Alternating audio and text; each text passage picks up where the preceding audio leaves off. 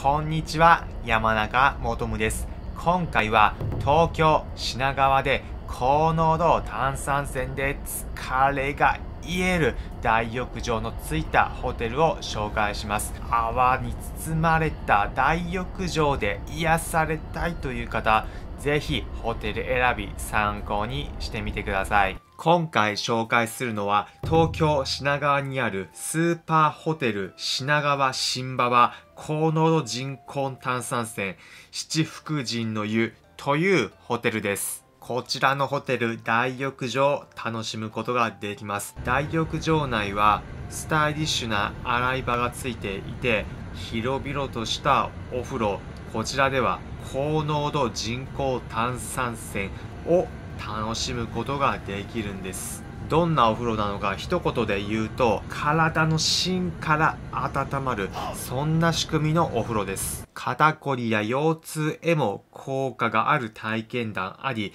皆さんも疲れを取るのにぴったりなお風呂ですジェットバスで刺激を受けながら泡に包まれた感覚。例えるならば、極上のマッサージをお湯の中で受けている。そんな気分です。パウダールームにはダイソンの扇風機も置かれています。宿泊検討される方へ客室も紹介します。客室入ってすぐのところで靴を脱いでスリッパで部屋の中は利用する形式になっていました。ベッド広々としていてシャワールームはコンパクトにまとまっていました。一人で宿泊した時のケースです。またこちらでは特製の七福神の湯のバッグを大浴場行く時のお風呂セットとして使うことができました。気に入ってほしいという方は、レセプションで購入することもできます。その他の設備、ぐっすり眠りたい方向けに、皆さんのタイプに沿った色とりどりの枕用意されています。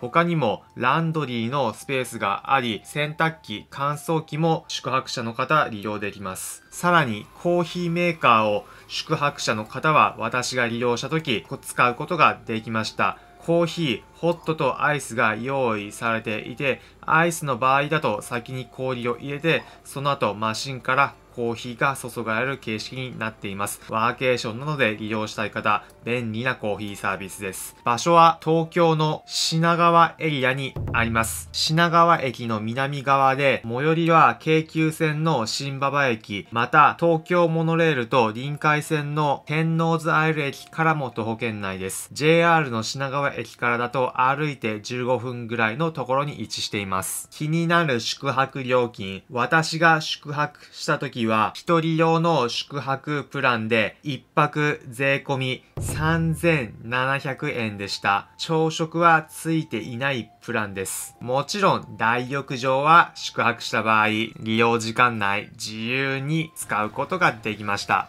最後に今回のまとめです。今回は東京品川にあるスーパーホテル品川新馬場高濃度人工炭酸泉七福神の湯について紹介しました。高濃度炭酸泉で皆さん芯から温まり疲れが取れる大浴場を利用できるホテルになります。皆様のホテル選び参考になれば幸いです。それでは皆様良い旅を。